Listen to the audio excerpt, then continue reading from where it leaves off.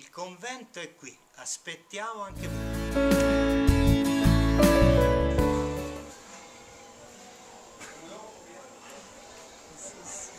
Allora, benvenuti, vi aspetto.